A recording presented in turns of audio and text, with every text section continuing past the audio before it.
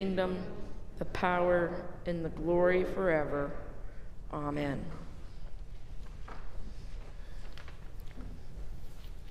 God is a promise keeping God.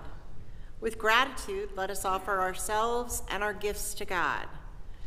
If you are with us in the sanctuary, please place your offering in the basket by the door as you depart today, or use the QR code in the bulletin. If you are worshiping from home, you can make your offering online at newark-umc.org or use the QR code in the bulletin.